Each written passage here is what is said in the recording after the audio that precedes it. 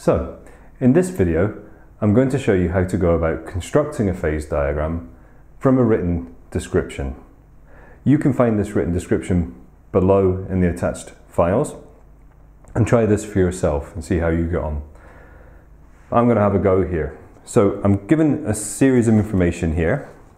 We have two components, A, which melts at 1750, B, which melts at 1650 degrees C, A3B, which melts incongruently at 1400 degrees C, AB, which melts congruently at 1500 degrees C, AB4, which is stable between 1000 and 1200 degrees C, and then we're given two eutectic points as well. E1 at 1300 degrees C, 40% B, and E2, 1350 degrees C, 80 mole percent B. So let's have a go at writing that up. So we've got A, which we know melts here about 1750. Do that a bit bigger. Um, B, our component over here, melts around about 1650. Okay, now the one neat thing we have here is a congruently melting phase. So let's deal with that first. Congruently melting phases can be used to divide the phase diagram into different sections. So if we have a phase in the middle, around about here, which is AB, we know that melts congruently at 1500 degrees C, which is going to be about there. So we can draw on that line. So straight away, we've divided the system up into two different sections. We then know that we've got another phase, A3B, which melts incongruently at 1400. So A3B is 25% B, 75% A, so it should be about here. So A3B, and that melts incongruently at 1400. So we know it's going to look something like that. Okay, so we've got this classic T shape from an incongruently melting phase.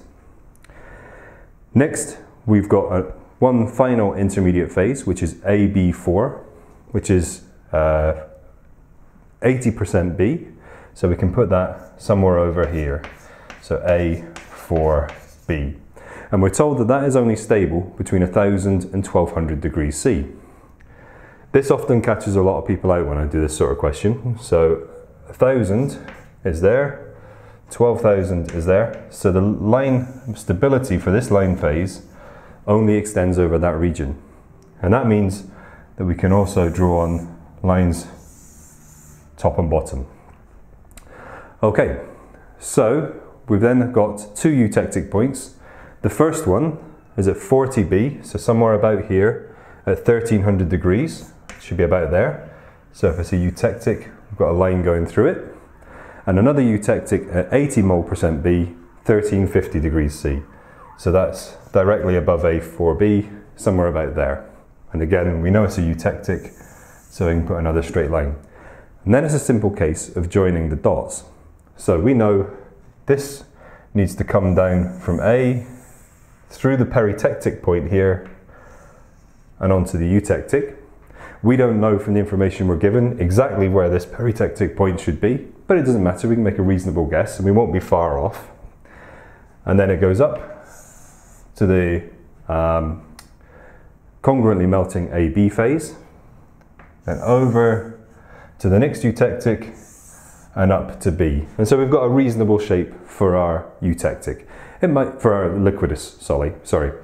It might not be perfect, but it's a realistic shape. Um, it's, it's pretty reasonable guess. And then we can just go through and label up some of these regions. So in here we have A plus A3B, A3B plus AB, AB plus B, and in here we have AB plus B. That's the part that often catches people out. Down here we have AB plus A4B, and in this little region here, A4B plus B. Then AB plus liquid, B plus liquid, A plus liquid, liquid at the top, A3B plus liquid here, and the same in here. And so there you have a constructed and labelled phase diagram from a very brief description here.